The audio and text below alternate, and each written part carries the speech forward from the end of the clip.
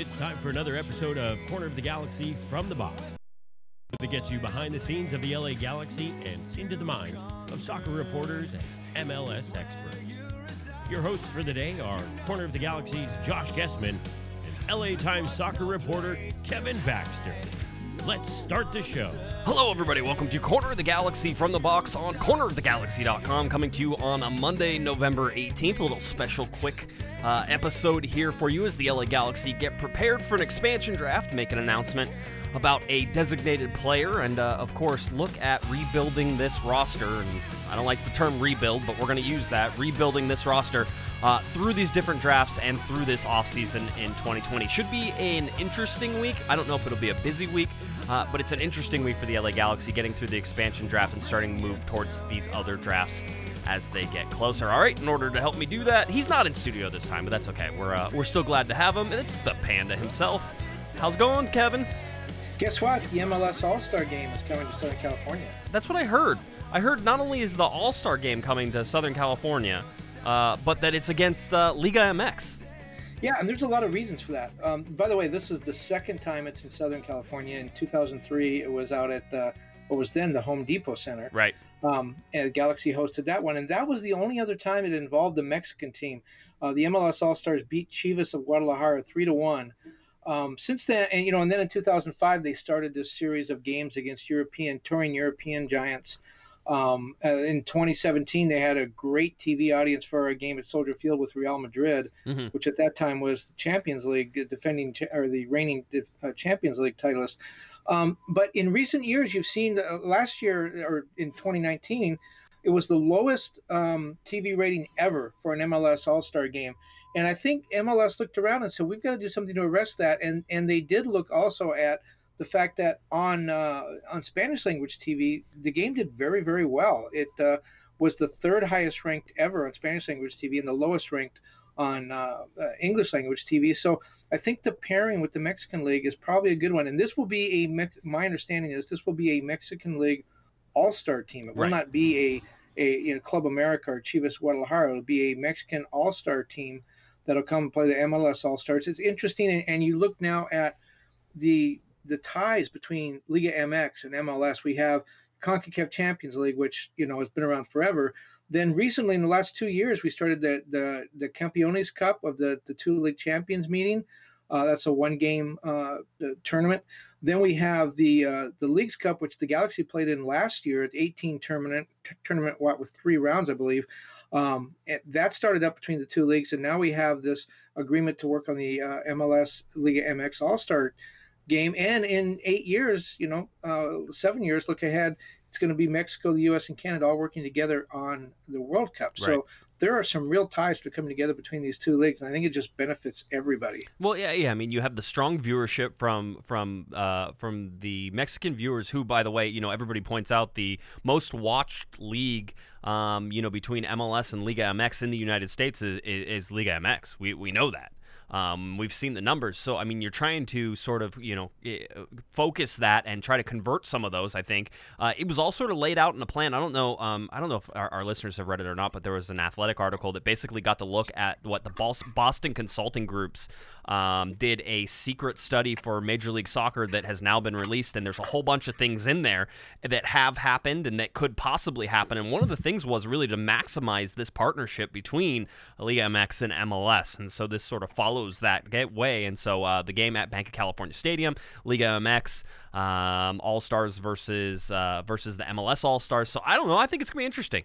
Um, I think it'll be uh, be a lot of fun, and I think that you know if you're looking for viewership and TV ratings, I mean, quite honestly, that makes me want to watch it a lot more than the MLS All Stars playing some European team right now.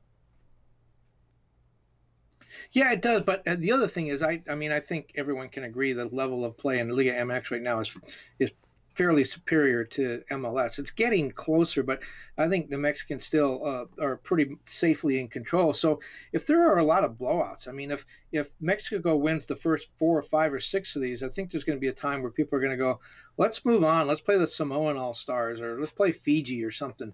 Um, but if they can keep it competitive. Um, it's going to be interesting. I mean, uh, I think everybody would love to see Carlos Vela and and Jonathan Dos Santos play against Mexican players. I mean, here's here's two guys right there. I think Carlos may have played briefly in Mexico, maybe not. Maybe he started in Europe, but certainly Jonathan's never played in Mexico, and Jonathan might be playing against his brother Giovanni if he makes the if if he comes back from his gruesome injury and is able to make the Mexican All Star team.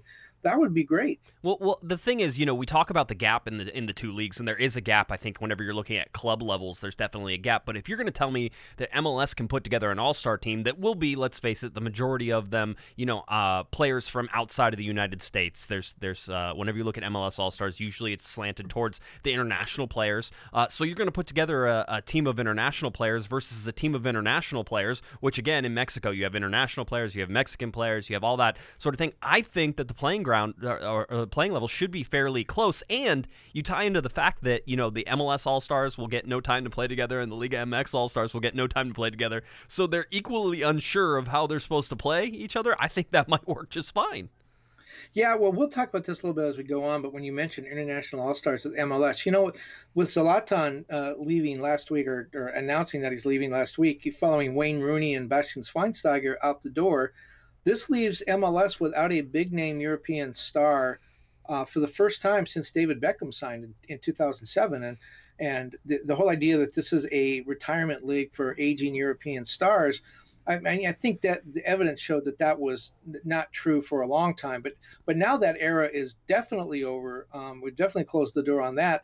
The league is becoming, uh, you know, even before they went into Mexico for the All Star game, the league is becoming very heavily uh, influenced by Latin American players, young Latin American players, some from Mexico, most from South America the Galaxy definitely part of that trend yep. with the number of Latin Americans and South Americans that they brought in. And I talked to Bruce Arena recently, and he expects the Galaxy to continue to uh, uh, develop into an Argentine an Argentinian team, and we've seen that already with the coach and, and Cristian Pavón, who now the Galaxy have picked up his option, so he'll be back. Uh, but there's a lot of young, exciting South American players. Uh, you know, Raul Ruidiaz, We got uh, Javier Martinez. Uh, uh, you know, Pity Martinez. A lot of these young Latin American players. Diego Diego Rossi. Brian. You know, just it, on and on and on. Eddie Segura. Um, and, and, that's where the league is going. And, and Bruce Arena thought that was a good thing for the league because it also helps capture the Hispanic market. But you have to kind of, we're going to talk about this too, big name players in LA. You kind of have to look past the names. You have to say, I've never heard of this guy, but boy, he really is good, as opposed to saying, I want to come out and see Steven Gerrard play on one leg and try to limp around for 60 minutes. I mean, now we're going to see some soccer players. You might not have heard of them. Nobody really heard of of uh, uh, uh, you know Almiron before he came to uh, Atlanta United. Now he's playing in, in the Premier League. Yeah, um, yeah, it'll be interesting. I, I, let's start with uh, with expansion draft, just because it talks about protected, unprotected, and then that's going to lead us into Cristian Pavón signing, uh, or not signing, but basically the Galaxy extending his loan, which we always figured was going to happen. But um, there's some nuances around that, and, and also how it goes. Um, so, by the way, why is this? Sh- you mentioned at the top that this is going to be a shortened show. Why is this going to be a shortened show? Because I have I have dad things to do. My wife is already like, "Hey, uh, you're not recording tonight." Tonight, right? And I'm like, eh, we're gonna throw a show together real quick. And then I and then she gave me the sigh, and she's like, you know, it's not. It, I was told it's not. It's not L.A. Galaxy season right now. It's baby season. So, well, how um, long are you going to milk this? 18 years? Unintended. Tw- 25 years? thing, yeah. 25 Six. years? I, I, don't know. I think I've earned it. I think I have some capital built up. So, you know, I'll, I'll, I'll milk it as long as I can. Um, I did order some some LA Galaxy onesies just because you know I, I feel like if the kid is going to have a team, it's going to be the one that's closest to him. So uh, clearly an LA Galaxy fan in the making whenever he's born. Oh um, well, there there goes my there goes my baby gift for you. I guess I have to get you an LAFC kit now. We'll we'll see how that works. We'll see how that works for you. anyway, so um so no you know I have to do that. So let's get to let's get to some of this stuff just because it's there's not a lot of news, but there's some interesting little tidbits that you can string together, and I think we can we can shed a little light on what is going to be happening here um, just quickly down the road as, as we're starting to put everything together. Um, but with the expansion draft, the LA Galaxy came out and announced their protected slash unprotected list. Really, they announced the unprotected, um, and then we go ahead and throw and throw the converse of that and make it a, a protected list. But the LA Galaxy announces announced their unprotected list for the November 19th MLS expansion draft. All right, this draft happening uh, basically the day after we're recording, so you can look for the results for that. I'll tell you right now, uh, Kevin and to be wrong on everything we say. No, no, we're not going to be. I don't think we're. I don't okay. think the LA Galaxy are going to have a player picked. Um, I really don't see that there's a whole bunch of value. And for the most part, we are just looking at Miami picking LA Galaxy players because it seems that Nashville and the LA Galaxy have a handshake agreement with the Dave Romney trade that they would not select anybody in the expansion draft. So really, you're looking at the at five picks from Miami, and is Miami going to waste one of their five picks on some of these unprotected? So let's go over the unprotected list real quick, and then you and I can talk about it. Uh, Fabio Alvarez, Uriel Antuna, Servando Carrasco, Emil Cuello, uh, Tomas Hilliard Arce, Zlatan Ibrahimovic, Perry Kitchen, Matt Lampson, Joao Pedro, Juninho, Chris Pontius, Jorgen Skjelvik, and Diedie Traore. I would like to point out that are projected. The COG was my list. My uh, my COG protected list um, basically differed from this in only one player, and that was Diedie Traore. I protected him on my mock expansion draft protected list, and the LA Galaxy chose to protect uh, uh, Justin Vom Steeg. Um, so Vom Steeg was protected instead of Diedie Traore. I don't think that in just in that one move and the difference between those two, I don't think there's much difference in those. And basically, because they're on reserve roster spots for both of them, um, Miami would have to come in and offer a senior roster spot. You're going to do that for a starter. You're not going to do that for a guy who you're not sure is a starter uh, because it matters about minimums and how much they get paid and how which roster spots they occupy. So it's a big risk, I think, for Miami to do that. But Kevin, we can we can talk about all that. But looking at this unprotected list, um, some people may be scratching their heads on some of these. And so let's go over these real quick and just sort of be like, yeah, this is why the Galaxy protected them and then understand yeah, well, or, or, or didn't protect these guys. Yeah, I mean, we could throw some of these guys out right away. It's Zlatan's going back to Europe. We know that already. Right. Uh, Chris Pontius not only announced his retirement last week, but today announced that he's taking a job uh, with the Wasserman Sports Agency. So he's already got a new job. He's not going to play soccer. We know Joao, Joao Pedro's not coming back to Correct. MLS. Jorgen Skjelvik was paid a million dollars last year. The Galaxy have already let him go. Yep. I don't think anyone's picking him up. Nope. Um, um, I I have on fairly good authority. Not it's not been done yet. I don't think Servando's necessarily made up his mind, but uh, Servando Carrasco is very unlikely to play next year. His wife Alex Morgan's about to have a baby. Sounds similar. Yep. Sound familiar? Exactly. But about to have a baby, and and he and I talked during the season about the you know the the couple's desire to start a family and the idea that Servando playing soccer at a minimum wage while his wife is in Orlando and he's in LA, it just didn't make sense, and he thought he might be more useful uh, retiring and becoming a Mr. Mom, and so uh, I think that's what's going to happen. And then the top two guys on the list Fabio Alvarez, the Galaxy are not going to pick up his option. Yeah. So he's going back to Argentina. And Uriel Antuna has drawn a lot of interest now, I understand, from Portugal, but also Chivas in Liga MX. Apparently, he's on loan from Man City. Um, Man City has said that they will give the Galaxy, this is from Dennis te Kloese, that they will give the Galaxy the uh, option of first refusal. In other words, a chance to match whatever any other team offers for him. Um, it, it, the rumors are that Chivas has offered 11 million. I right. don't think that's anywhere near true. When when I printed or, or tweeted out the list of unprotected players with Uriel Antuna, and I immediately got an email from Herculez Gomez, the former national team player who works for ESPN and played for a long time in the Mexican League. And his his what he said is that means he's gone. If the Galaxy didn't protect him, he's gone. But why would Chivas pay 11 million for him? And my response was they won't. I don't think they'll pay 11 million if they know they're bidding against the Galaxy. All they got to do is figure out what the Galaxy might offer. I think the Galaxy would be foolish to go more than four or five on Antuna. So they, they can't. I don't. Even, they can't even do that. I mean, you look at what they would be willing to pay in order for a transfer to come in, and that has to be factored into his compensation. The LA Galaxy don't have a designated player spot right now, and we'll talk about that. Don't have a designated player spot open, and they're not going to give it to Uriel Antuna. No, they're not going to give it to him. And so why would Chivas offer 11 million? I think Chivas probably offers about half that, and they still get the player they want. Yeah, I, I would say right now that from all indications I've gotten is that Uriel, Uriel Antuna including because he's not protected on this list and other reasons, is not coming back to the LA Galaxy. As a matter of fact, on our rumor tracker, and you can check our offseason rumor tracker, we put that basically up to four stars, uh, four out of five stars that that's going to happen. Now, I don't know if it's to Chivas or basically, I've always said this: if it's to somewhere, if it's he's going somewhere, and more than likely, I think Dennis um, and Guillermo have already counted him out from coming back to the LA Galaxy. If for some reason that all falls through and they can get him on another loan, then I mean they would do that again. I think in a heartbeat. But they're I don't think they're gonna uh, look at purchasing Uriel Antuna. Um, so that makes sense. Like you said, Fabio loan ended. Yeah. I was going to say one thing. If you're wondering, well, if the Galaxy won't pay this, why would Chivas, when the Galaxy probably need a player like him? Well, Chivas will pay a little bit more because uh, Antuna now is a Mexican national team star. With the year that he had, he's a big name in Mexico, a much bigger name in Mexico than he is in Southern California.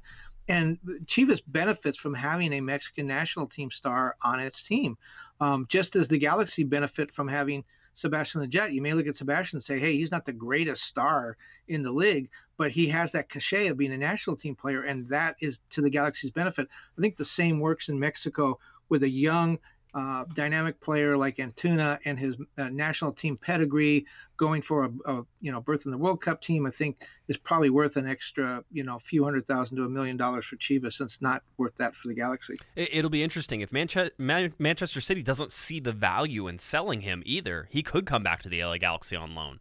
Um, which again, if you're looking at a gamble, see this is the problem with expansion teams. You're not looking to take a gamble on any of these things. It doesn't pay off. If you're Miami, you want five starters or five close to starters, or you know four starters and one bench guy that you're going to get out of you know pulling these, or a couple bench guys. You need some solid players to put in there. And Uriel Antuna takes up an international spot. Um, he's on loan, so nobody's going to pick him up right now. That's not the way that that's going to work, and nobody's going to pick up his rights. We talk about Zlatan, which is funny. People are like, "Well, why is Zlatan even on this list?" Well, technically, Miami could go and and pick up Zlatan Ibrahimovic's rights, and if he ever decided to come back to Major League Soccer, he would have to play for Miami, except he wouldn't because he'd be like, "I will go wherever I want to go." Um, so you know that's that's why these things are a little weird. The the one I think that people talked about, we talked about Diedie Traore, that was one. Um, the other one is Perry Kitchen, and we know the Galaxy are, are were looking to offload his contract at some point um, in this offseason. I don't know if it continues to be that way, but it seems like that was that way at four hundred and almost four hundred and seventy five thousand dollars on a salary. He's an expensive player if he's not going to be playing. Um, and if the Galaxy are trying to move him because he's still under contract, it looks like, um, you know, this is one of the reasons that they unprotected him. Could Miami pick up somebody like Perry Kitchen? He might be one of those players where you sit there and go, if you have extra allocation money like Miami is given, you can pay a slightly overinflated fee in terms of paying Perry Kitchen four hundred seventy-five thousand, and if you get some extra allocation money in there because your expansion side, you can sort of make that make a little more sense. Again, I don't see uh, Miami gets five picks, Nashville SC gets five picks, so 10 players total will be, could be, because they don't even have to take them all, could be selected um, from all of the teams that remain in uh, in Major League Soccer outside of uh, a couple that, you know, don't don't get to get picked from or whatever.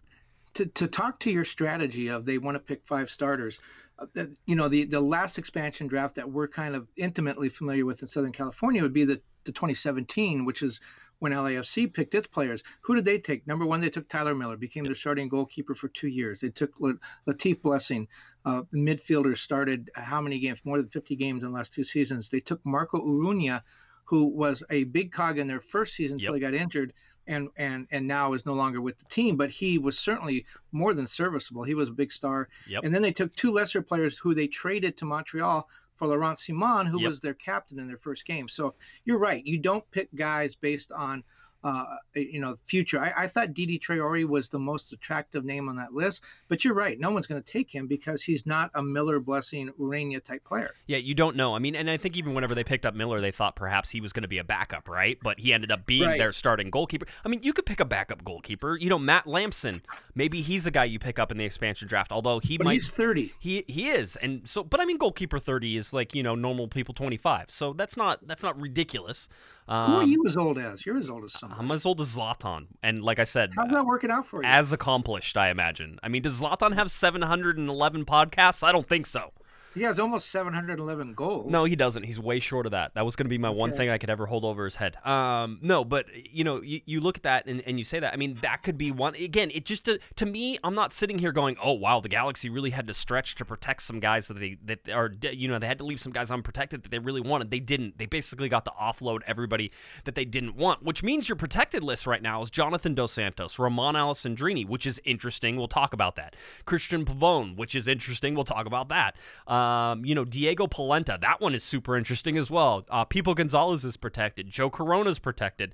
David Bingham, Sebastian Lletget, Um, let's see. Rolf Feltscher is protected. I love all the people who told me they weren't going to protect Feltscher. You guys are out of your mind. Um, Dan Steres is protected. Uh, Julian Araujo is protected, and Justin Vom Steeg is protected. Those are your 12 that are protected. Um, they didn't, you know, you can't unload all your international players, but you look at that and you say, okay, that's kind of the core that the Galaxy are building around. Now let's go to. Um, there weren't any surprises in the protected list, right, Kevin? I mean, n- none of this shocked anybody. No, I do think it's interesting though that Polenta was protected, and and uh, I think it's encouraging for Galaxy fans that Alessandrini was protected because yeah. if they felt like he was done and there was no way to work anything out, I understand they're offering him a very um, um, low contract offer. He may have to take as much as uh, 50% pay cut if he wants to come back. But the fact that he's on the protected list means at least someone in the front office thinks that he's in their future, and that's good for Galaxy fans because I think he's a really good player. Yeah, he, he very well, yeah, and that could be a, a good thing. So yeah, you look at Romain Alessandrini. It's interesting because right now, as it sits, um, and technically not even this is just in a time frame, and I, I, need to be clear about the time frame. Right now, Cristian Pavón uh, just announced today that he uh, that the loan was extended from Boca Juniors. We all expected this, and that he will be a designated player for the 2020 roster. All right, so we expected that too. Yeah, yeah. We none of that was a surprise. Um, we've known that basically since he signed his original deal, and why this is a why he wasn't a designated player this year, this half year, versus why he is a designated player for next year. It has, simply has to do with the loan fee. Um, I don't think his salary is going to change dramatically. Uh, he's making 1.2 million dollars on an annualized basis, so you can divide that in half, basically. Although he played 11 games, not really half the season. However you want to do that, but um, basically 1.2 million dollars on an annual basis. We'll see if that jumps in the second year. Maybe it doubles and you know it ends up being three million dollars or or however that goes. But he is going to be designated player. Um, and the reason he wasn't was the 1.2 million dollars was uh, was low enough to be bought down by TAM, and there was no loan fee for this first half. This is where everybody calls the LA Galaxy cheaters. I just think they're really good negotiators, especially Dennis te getting Boca to be like, yeah, just give them to us for free for the first halves. And they did. Um, now the LA Galaxy have exercised the option on Christian Pavón, the, the second loan option, which means they do have to pay a fee to Boca Juniors. Again, we don't know how much that is, but it is enough that that plus his salary is going to take it over the uh, $1.5 million in TAM, and basically now he becomes a designated player. And he occupies the spot that was vacated by Zlatan Ibrahimovic. So if you look at it and you said that you were going to bring everybody back, Jonathan Dos Santos, Romain Alessandrini, and Cristian Pavón, the LA Galaxy currently have all three designated player spots taken from. But what we know is that the LA Galaxy are trying to negotiate a deal with Romain Alessandrini. As shown on the protected list, they protected him. We know that there's there have been some talks and some negotiations, and whether or not he's coming back. And the most likely outcome to this scenario, correct me if I'm wrong, Kevin, is that they get Romain Alessandrini for a targeted allocation money uh, fee, and that's how uh, the LA Galaxy then have another open DP spot to fill uh, coming into the 2020 season. Yeah, I, I, don't think they fill all those DP spots. They've been burned by that before. Uh, I don't think they're going to do that again. I think Dennis is too smart uh, to do that. I, I, do think the Pavón uh, transfer fee, when we see it, is going to be really inflated. And the reason I think that is I think they probably said to, to Boca, look, we'll make it up to you.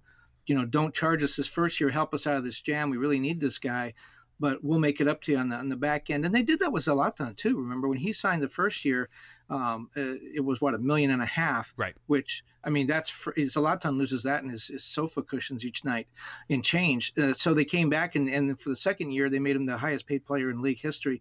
Um, they made it up to him, and that's what I think is probably going to happen with Boca. I think when we see this transfer fee, it, it'll be it'll be pretty high. But you know, the other thing with Romain is um, uh, you know, he missed most of the season, was injured, had injury problems. He was injured a couple of times. One that, that the, the, operation that kept him out for a long time, and he's getting older. I think he'll be 33 next season. So he, given his re- reduced uh, availability, his reduced production, the fact that he's getting older, I still think he's worth signing. I still think he's a valuable player, and I think he's the kind of player that the team needs. I don't think you think of him as a 34 game starter, and I think you price him accordingly. So yeah, if I'm the Galaxy, I definitely do not leave a a uh, designated player spot. I, I do not use it on him, but we also know that the player is extremely motivated to come back to Southern California. So if you can get him for, uh, you know, less say a million, um, I think that's a really good deal, and I think Ramon would do it. Yeah. Uh, by the way, Ramon, 30 years old. Interesting. 30. Yeah. No, he's older than that. No, they have on the MLS website 4 3 1989.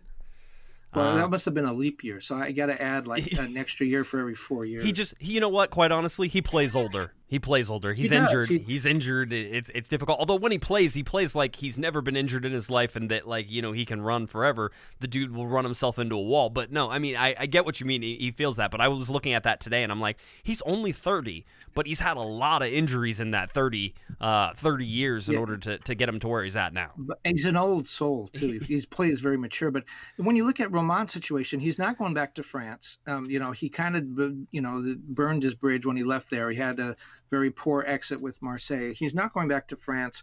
He's probably not going to play in one of the top five European leagues. So where does that leave him? You know, places where he could make money: T- uh, Turkey, China, somewhere in the Middle East, maybe in Eastern Europe. I don't think Zlat, I don't think Romain wants to go there. I he really likes Southern California. He was one of the first guys here to had bought a place. He bought a condo. He spent his first full off season here. His wife is learning English, or girlfriend, I guess, wife. I don't know what they are, but his his partner is learning English. Um, everything uh, seems to indicate that he wants to set down roots here, and he's not going to go to. I don't think he's going to go to Turkey for an extra two hundred thousand dollars. I think if he gets a million or close to a million, he's going to stay here, and I think the Galaxy know that, and they're going to negotiate accordingly. Yeah, you know what would make uh, Romain Alessandrini even more palatable to the LA Galaxy is that not only if they could get his salary down to what I think is, you know, I think if he makes Jorgen Skjelvik money, by the way, I'm not disappointed in that. Uh, no, he's a lot more productive than Jurgen Skjelvik right now. He, I, I think that's true. And so, uh, if you could give him a million dollars, and let's say, you know, a guy like Romain Alessandrini, who's been in the United States now for a little while, could get a green card uh, Yeah. and not take up an international slot. Because I need to remind everybody real quick uh, the LA Galaxy have eight international slots as of right now for the 2020 season. They had, I think, 11 um, this year. They bought three extras in order to get them to where they're going. Um, so they have eight to start with, and they can buy some more if they can find some more um, in order to complete that roster. But as we're starting right now, you're looking at eight.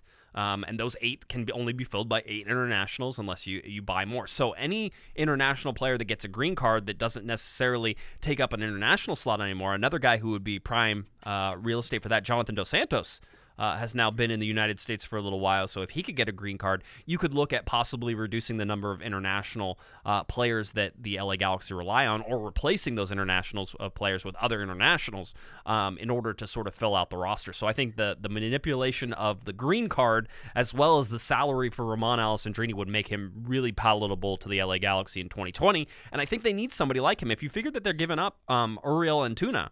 Um, and you know that sort of he was a starter. Uriel Antuna was a starter for the LA Galaxy. They're losing that starter.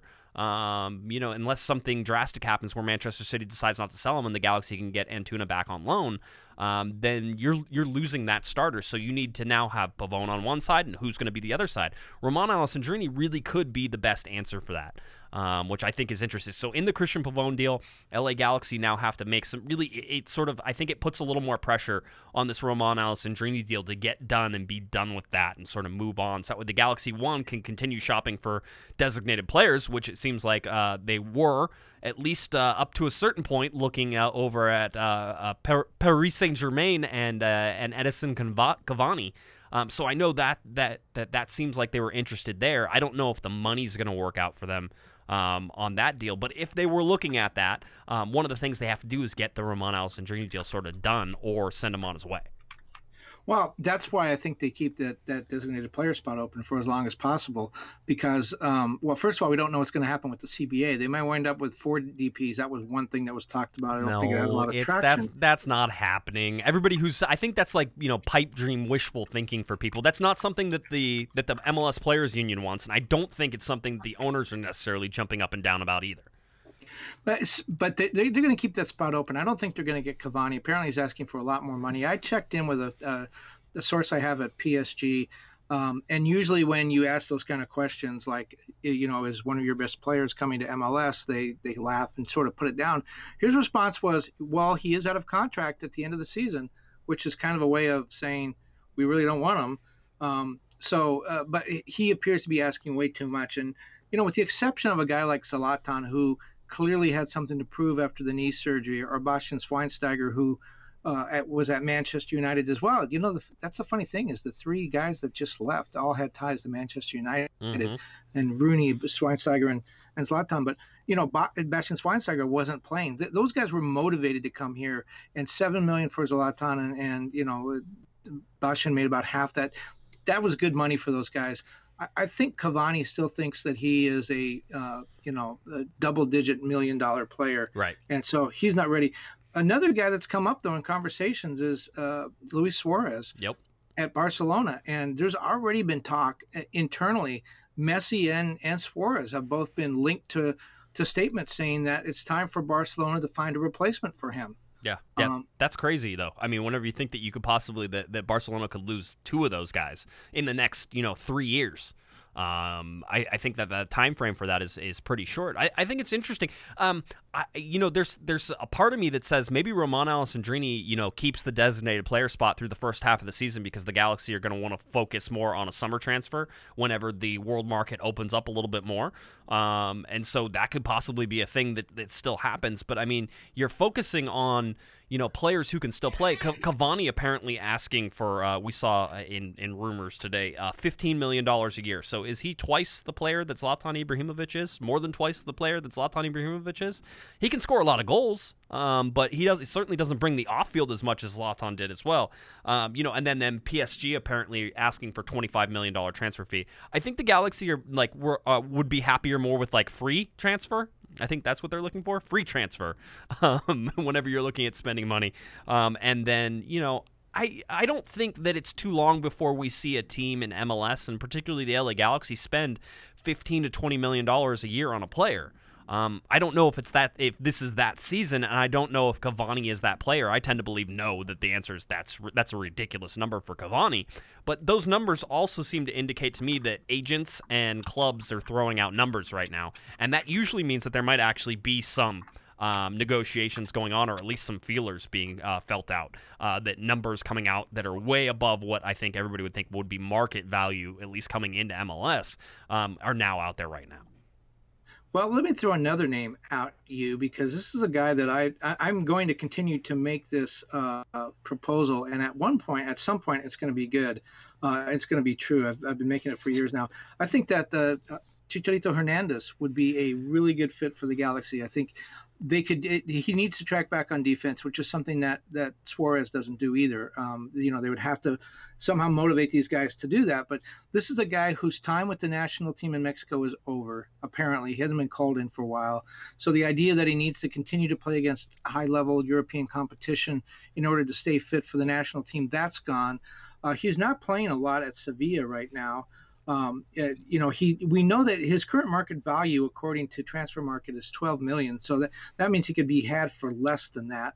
Um, when he went on the transfer to Sevilla from West Ham, the transfer fee was about seven million dollars. So if you can get that down to half of that, you know, it, the the numbers all work out. And and again, he's not playing a lot for Sevilla. He started to play a little bit more recently, but he's not one of their their their top flight guys. I you know we know he's coming to MLS at some point. He has to. Just the marketing potential alone for a good-looking Mexican guy who speaks English and Spanish coming to a market like LA, it's just too perfect. And I think he's going to wind up. He's on the wrong side of 30. I think he's going to wind up here eventually. Why not now? The Galaxy could use him. Um, you know, that would be a guy that, to me, it makes even more sense than Suarez or even Cavani. Yeah, I, I, Cavani for me makes more sense tactically. Uh, it was interesting today. The LA Galaxy. I don't know if you picked this up, Kevin. Uh, the LA Galaxy, whenever they put out the Pavón uh, announcement that basically they had extended the loan that he'd be a designated player, listed him as a forward which really, when you think about the formation that he played in this last year with the LA Galaxy, he's more of a midfielder. But if you were going to switch formations to a 4 3 3, which is something you and I both contend Guillermo Barros wants to do, then he would technically be listed as a forward under that formation. So I don't know if that was a little hat tip to what is coming, but you are looking for, you know, a really a three forward system if you're going to the 4-3-3, which means that somebody like Cavani who's able to go forward and actually track back and play defense is probably more valuable than maybe a Luis Suarez or or maybe a um, you know, a, a Chicharito Hernandez uh, coming into this coming into the side. I just don't. The, the system fit isn't perfect for maybe Suarez. Although I think Suarez can possibly play defense in Major League Soccer. It, it shouldn't be. Well, all but, those, all three of those guys you mentioned, they play four three threes with their club now. Yep. Yeah. I, so I mean, it makes sense. It is. It is within the realm of possibility. If you're looking for perfect fit, I lean more towards Cavani right now. That means nothing, by the way. I don't. He, I, I think the Cavani deal is something that the LA Galaxy would do if everything sort of falls into their laps. Um, I don't think they're going to go out of the way to sign a guy for you know twenty million dollars um, and have a 25 by the way like i said uh, 15 uh, he's asking for 15 million dollars a year and a 25 million dollar transfer psg is looking for according to reports today. And both of those numbers are out in astroland as far as i'm concerned and it just makes the the rumor want to disappear. But i also don't believe those those numbers um, 100% so wait to see how things sort of pan out and play out. So it'll be interesting to see again to where the la galaxy are going. But the first thing is this expansion draft on tuesday uh, and then you get into all of the other crazy stupid like waiver drafts, and let's see what other well, ones. Yeah. Oh before oh. you get too far away, I, I, I want to make one more point on Chicharito because I'm going to just you know, hammer this. I'm going to beat this dead horse. Is, is this like Dom? Dead. Is this like Dom Dwyer getting traded? Yeah, yeah. Yes. Yes. Okay. It's never going to happen. No. Here's another thing that I think fits the Chicharito piece for me is that Dennis te Kloese was at at Guadalajara when Chicharito came up he was he's been with him and around him his whole career with the Mexican national team, with the youth Mexican national teams. Um, you know, he's been a guy that's been in Chicharito's life and and Chicharito's father's life. Um, you know, for most of their soccer careers. So th- I think the one thing that's always been missing is is Chicharito didn't know when it was time to leave Europe. Um, I think if someone can sort of talk him off that ledge and and and make the the move gentle, I think it would be Dennis te Kloese. Now, whether that happens or not, I think that it's a real long shot. I just think that the situation now is better than it's been for Chicharito in a long time, and I, I just it, it makes too much sense for me that he he has to wind up in MLS at some point before he, he retires. He doesn't have to. I mean, there's no rule. I get where you're coming from. I, I know the marketing alone is is just, um, uh, you know, he needs a. He's a big deal in Mexico. He's everywhere in Mexico, and he has all kinds of exclusive advertising agreements and sponsorships and stuff. You don't see him much in in in the U.S. And you know, at the 2014 World Cup, his jersey was the best-selling jersey in in Southern California, uh, better than Messi, better than Suarez, better than anybody. Um, you know, he still is super popular here. And again, the fact that he's bilingual. Um, you know, Vela could be that guy. Vela could be doing a lot of that stuff. He just is not interested in it. And yeah. by the way, but you mentioned Jonah. I want to say I want to throw some props out to Jonah. Um, he did his last press conference in English. Um, took the questions in English, some of the answers in English. Um, this is something that I don't think he's self-taught. I'm sure that I mean, he speaks really well and understands really well. So I'm sure he's had some help along the way. But this is a guy that really applied himself to deciding that he's going to be in Southern California. Now, a lot of players on the team speak only Spanish. Guillermo clearly is is is much more comfortable in Spanish. A lot of the reporters speak Spanish. It's not necessary for Jonah to do that.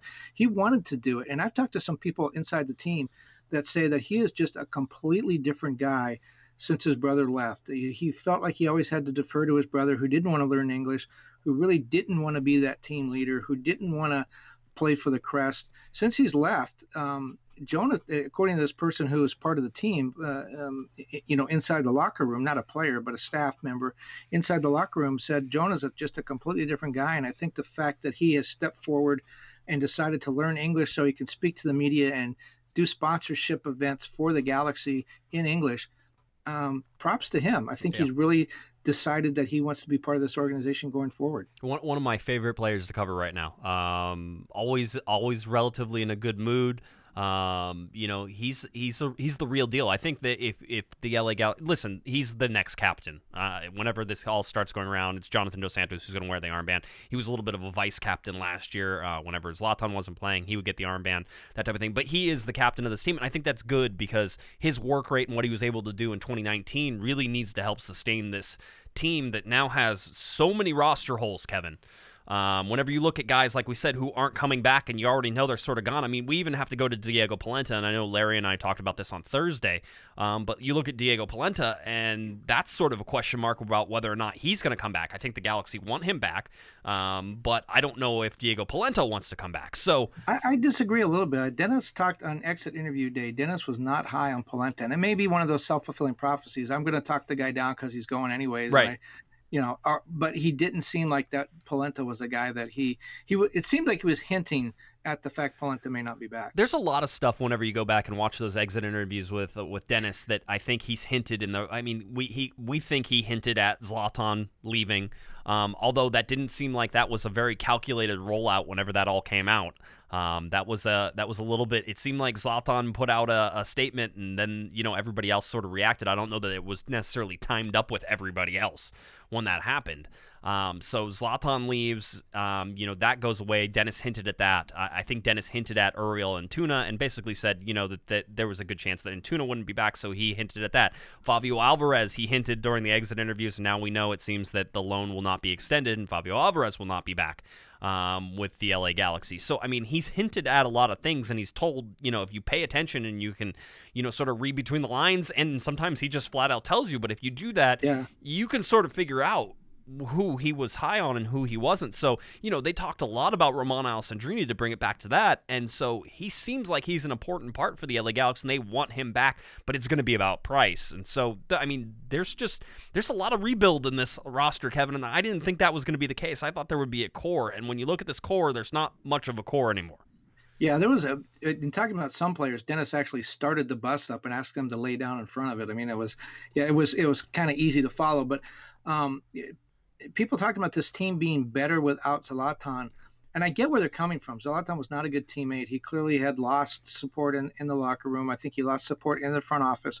I think it was an easy. It's probably the easiest um, uh, release of a 30 goal scorer in in professional soccer history. Um, but he leaves a lot of holes. First of all, where do you get those 30 goals from? I don't know that you get those back. You're going to have to be better on defense to make up for that. I think that collectively, do you make your goal differential better? Without Salah, maybe that's how you make up for it. But you're right. The core right now, we don't know who's going to come. If it's if Cavani brings Messi and Suarez, and that's your front three in a four-three-three, maybe they win a lot of games. But right. with what I see as the core now, and with the and what financially they probably have the possibility of doing, I think Pavón's going to have a great season but I don't know that Galaxy wins 16 games again. Well, well, I mean, okay, so go on down this list and tell me there's one striker on this list that I can find of any Galaxy player without Zlatan Ibrahimovic on it. And We talked about this even last year um, that the Galaxy had no backup to Zlatan Ibrahimovic. Well, there, you know, it's Ethan Zubak is the other is the only other uh, player right now that's listed sort of as a forward or a striker that can play the number nine um, in that center striker role. I'm sure you can move some people around and do some things. Maybe Pavón can play up top in that central position. I don't think that's his strong suit, by the way. Um, but the LA Galaxy have to find that. Not only do they have to find a starter, but they probably have to find a backup. Um, and how are they going to rotate through that? So that's really Dennis trying to figure that out. So, I mean, again, just starting lineup. You could say Jonathan Dos Santos starts. Uh, Romain Alessandrini could start if he comes back on the right hand side. You could start Cristian Pavón on the left hand side. There's no striker.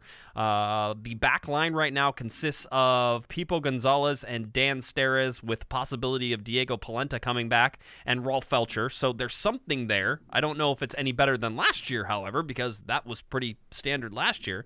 Um, so you have to bring in somebody there who's clearly going to be a starter, and that happens with with Jorgen Skjelvik going away. Uh, Joe Corona can start in the midfield for you. Perry Kitchen seems like he's on the way out, but we don't know that for sure. So he could come back and be a bench piece or a starting piece for you.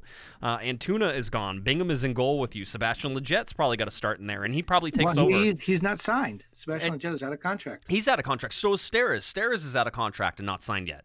Um, so, I mean, these are all the questions. It's not hard to suddenly come down through this list and be like, okay, so who's going to be on the team next year? And, you know, how are they going to do it? As much of a rebuild, Kevin, as they sort of had to do last year and had to, and were stuck with some pieces they didn't like, they now have pieces that they ordered, but a lot of holes to fill. Yeah, and and I Dennis is a smart guy. I'm not going to, you know, he has earned our uh, the the benefit of the doubt. I don't think he lets Antuna and Fabio go unless he has an idea of where he's going to go to replace them. So I'm going to allow, uh, going to give him the benefit of the doubt. But that's a lot to replace because you're not replacing. If you were replacing Fabio and and, and Antuna, yeah, you could probably do that you're also replacing Zlatan in the middle of that. And for all that he, uh, for all the, the, the, the, suspensions and all the bad stuff off the field and the histrionics on the field, he scored 30 goals, and you got to find someone that's going to replace that. Yeah, yeah, and, and, like you said, you have to do it somehow in some combination of something, or you find a guy who's going to score you 35 goals. I don't know. I mean, you know, I'm sure those guys grow on trees all over the place. Um, I don't know. I just I think this is this is the other sort of thing, and I, I think it's it's worth noting. And you said you know Dennis deserves the benefit of the doubt. I agree. I think he's really smart. I think he can hit on a bunch of these, um, but they didn't hit on a bunch last year.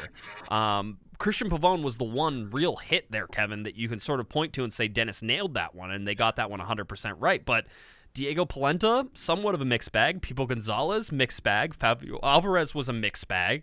Um, you know, you can look at uh, Uriel Antuna was one of the better players, but at the same time, I think he's very tactically immature. He just has a lot of speed right now. He's basically um, Ima on the right hand side with a with a much better finishing skill. Uh, I'll give him that. Uh, I do not place a whole bunch of uh, uh, I don't know, weight on his international career. Whenever you look at the goals that were scored against and how that goes, I mean, yeah, three against Cuba. I mean, yeah, just I, you look at it, yes, he improved, and yes, he made a name for himself. But does that mean anything? And how successful was he with the LA Galaxy? He was a borderline, you know, five, six, seven out of ten whenever you look at it. So I mean, that was one of the better hits that that Dennis got. So if we go back and we grade the guys who were brought in, you know, Pavón is the clear standout. But quite honestly, you know, you and I could have made the call on Pavón that that's a guy who is you know looks destined for bigger things than Major League Soccer. So I don't think that one's a hard one. But the other ones, uh, I expected Diego Polenta to be better. I expected Pipo yeah. Gonzalez to be people much better. Gonzalez and Diego Polenta. I mean, with the billing they got when they came in, it was like these guys are the greatest soccer players since Pele retired.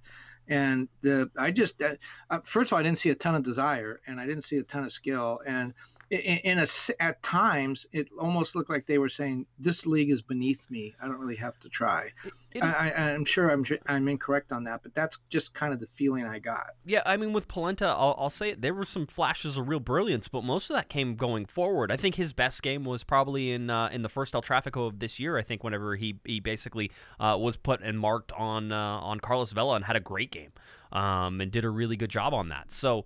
Um, yeah, you look at all those things, and I think that you know the Galaxy um, missed more than they hit, and Dennis missed more than he hit. But I still have some faith. We, we talk about his smarts and his plan, and Guillermo's plan, and what they're trying to do. I feel like they have a plan, but implementing that is going to be difficult. And if it, if it doesn't get implemented right, and we talked about you know taking steps backwards in 2020, I think it's very possible the LA Galaxy take a step backwards in 2020. And if that's I the case, and if that's the case, Kevin, somebody loses their job.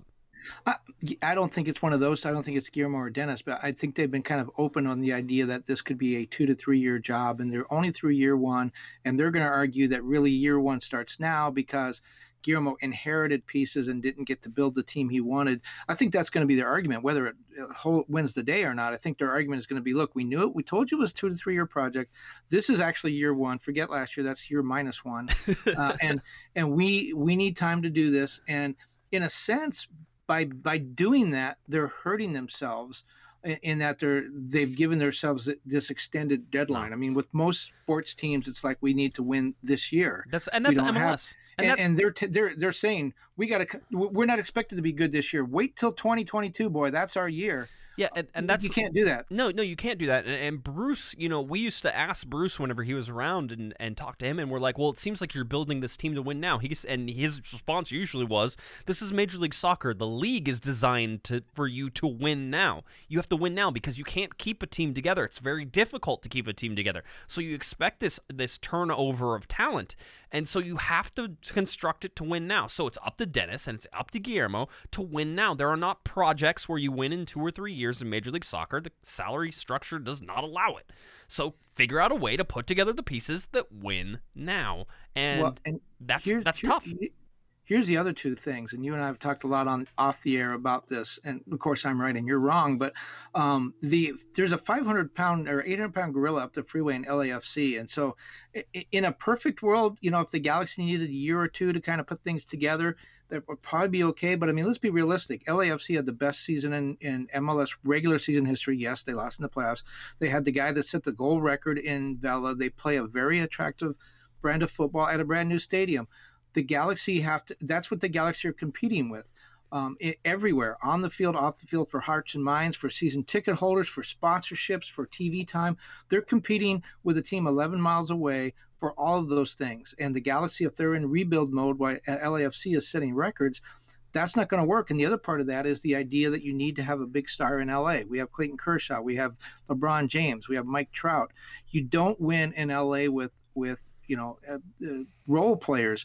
And I talked to um, Garth Lagerwey at Seattle, right before the MLS Cup, and he talked about he said our fans in Seattle are soccer fans. They want to see good soccer.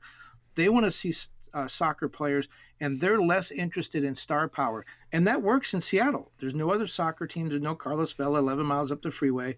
Um, they don't have to compete with LeBron James. So that that works in Seattle. It doesn't work here, where there are you know there are what's two professional hockey teams, two professional baseball teams, two NFL teams, two major college programs. We have uh, the the Sparks and the WNBA. There's a lot going on here, and, and to compete for fans' interest and dollars, you need to have someone to come out and see. And that's why I think you see the Galaxy talking to Cavani and Suarez and maybe a Chicharito.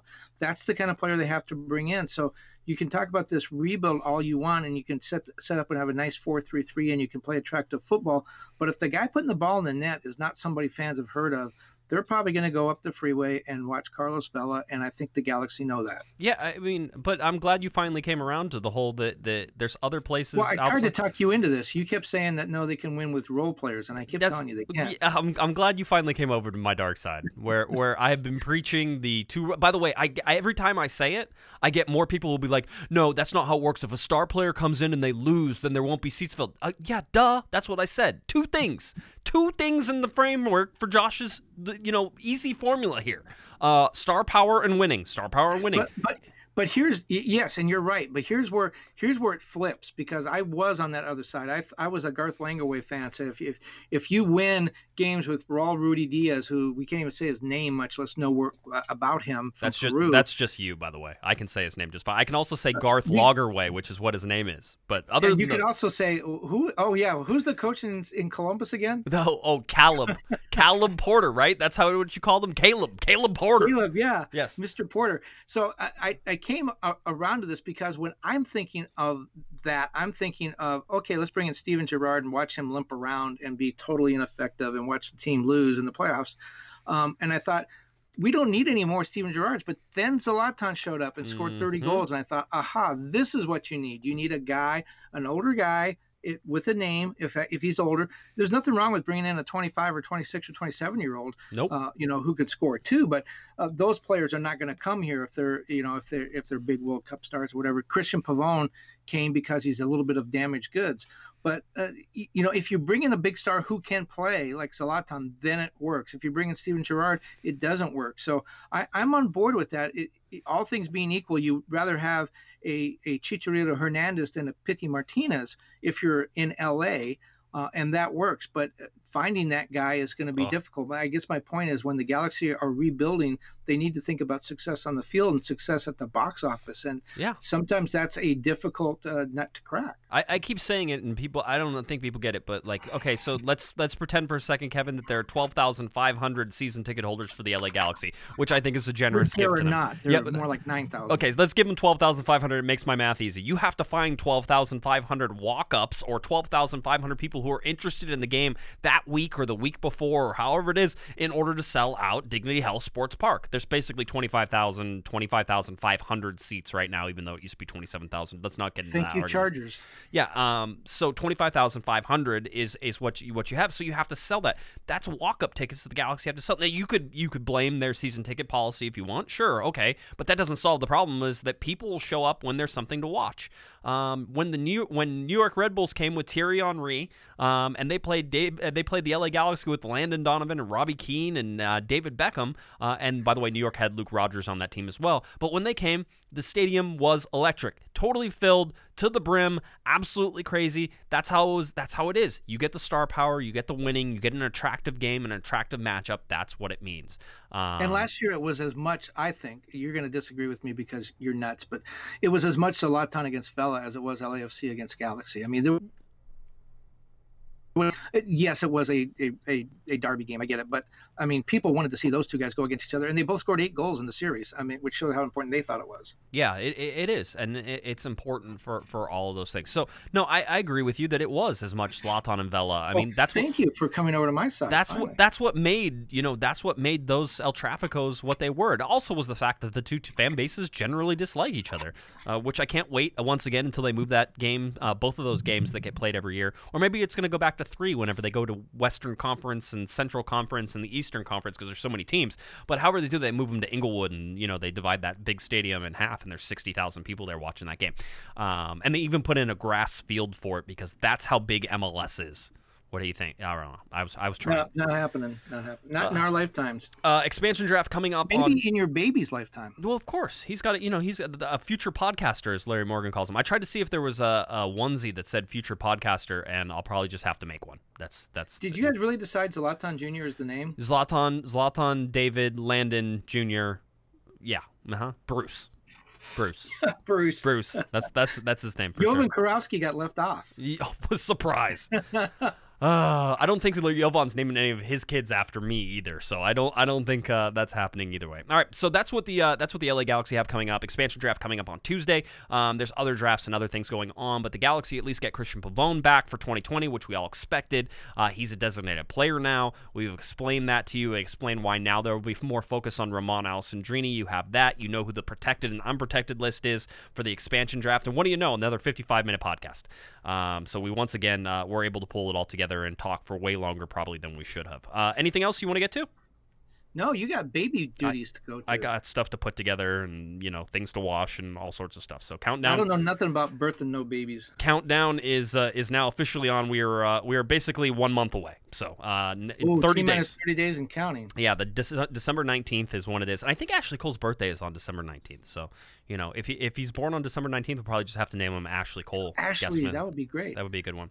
Uh, all right, I think that about does it. If you're looking for Kevin on Twitter, find him at kbaxter11 and then head on over to latimes.com for all of his writing. You can find it at right there. latimes.com, soccer writing covering Southern California, U.S. men's national team, U.S. women's national team. Uh, all that fun stuff is right there for you. So latimes.com. If you're looking for me on Twitter, at Jay Guesman, J G U E S M A N, and of course at Galaxy Podcast. And of course, head on over to cornerthegalaxy.com. The off-season tracker is right there for you, ready to fill you in on all the moves, all the drafts, everything that's going on with the LA Galaxy in this offseason, including those rumors as well. All right, that does it for Mr. Kevin Baxter. I'm Josh Guesman. You've been listening to Corner of the Galaxy from the box on cornerofthegalaxy.com. Have a great one, everybody. You've been listening to the Corner of the Galaxy from the Box podcast on cornerofthegalaxy.com. You can follow the show on Twitter and Instagram at Galaxy Podcast. And be sure to check out and subscribe to iTunes, Stitcher, and Facebook by searching for Corner of the Galaxy. And for all of your independent LA Galaxy news, discussion, and entertainment, including this podcast, head on over to cornerofthegalaxy.com. Fans, thanks for listening. We ask that you be kind and courteous to your neighbors as you leave the podcast. We thank you for joining us and look forward to seeing you again. Until then, I'm Michael Arajo, and on behalf of the entire Corner of the Galaxy crew,